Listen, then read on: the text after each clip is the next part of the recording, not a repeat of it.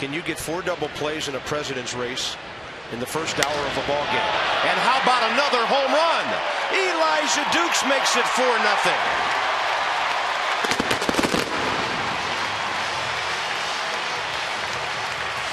And for Dukes, his fifth of the year, the 28th of his major league career, a no-doubter line drive to left.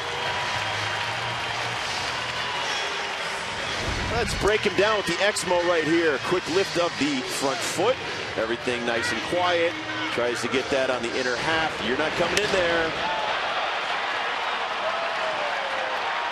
See you later, baby. Yep.